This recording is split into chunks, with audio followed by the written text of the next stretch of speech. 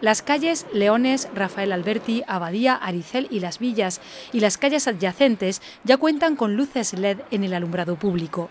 El ayuntamiento concluye la renovación de la iluminación en esta primera fase con una inversión de 135.000 euros.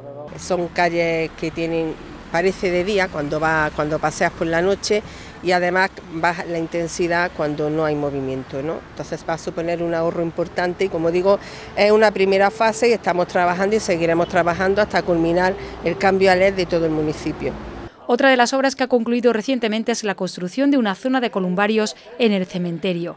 Esta actuación se ha llevado a cabo con personal propio del ayuntamiento y en material se han invertido 3.500 euros se hará un cambio de la ordenanza, porque eso tiene que estar regulado por ordenanza, lo modificaremos la ordenanza que regula el tema de las lápidas y de los columbarios para adoptar el importe que, que conlleve el poder hacer uso de ellos. En estas semanas concluye otra de las actuaciones previstas en el cementerio, un jardín de las cenizas.